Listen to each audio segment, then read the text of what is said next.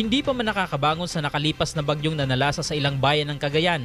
Subalit naghahanda ng muli ang lokal na pamahalaan ng Alakapan sa Cagayan sa panibagong bagyong paparating. Inihahanda na ang evacuation centers sa 27 barangay bilang paghahanda sa bagyong Obet. Ayon kay Alakapan Vice Mayor Ibon Florida, paparating na rin ang panibagong batch ng relief packs ngayong linggo.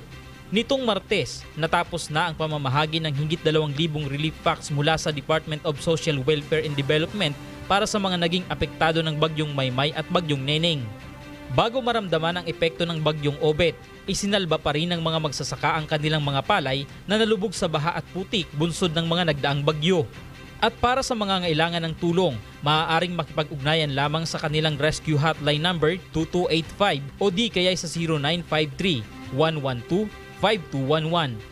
Samantala ang provincial government ng Cagayan patuloy ang ginagawang repacking ng bigas sa subcapital sa Bangag Lalo Cagayan na ipapamahagi ng pamahalaang panlalawigan ng Cagayan bilang augmentation sa mga bayan na mangangailangan ng relief goods para sa kanilang relief operations.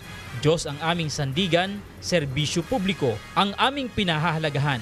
Dan Hersalia, Humahataw.